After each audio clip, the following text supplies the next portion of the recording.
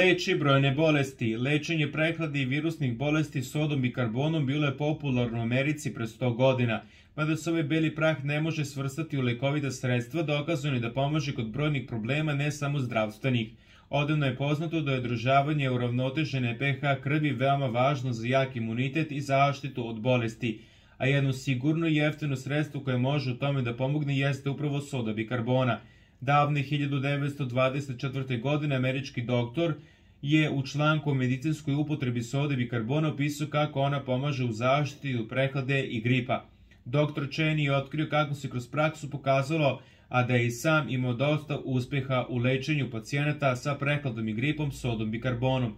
Prema njegovim rečima, oni koji su alkalizovali telo redko se udubijali grip, oni koji su se zarazili, ako bi odmah počeli sa terapijom, imali su blage simptome, a studije su pokazali da su ljudi koji su uzimali sodu bikarbonu bili zaštićeni od bolesti, dok su oni koji to nisu činili češće bili bolesni.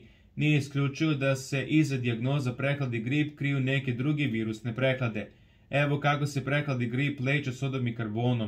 Dan 1 šest puta po pola kašičice sode bikarbone u čaši hladne vode u intervalima od približno 2 sata.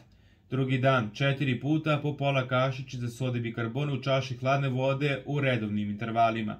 Treći dan dva puta po pola kašičice sode bikarbone u čaši hladne vode ujutro i uveče, a zatim uzimajte pola kašičice sode bikarbone u čaši hladne vode svakog jutra dok simptomi prehlade potpuno ne prestanu.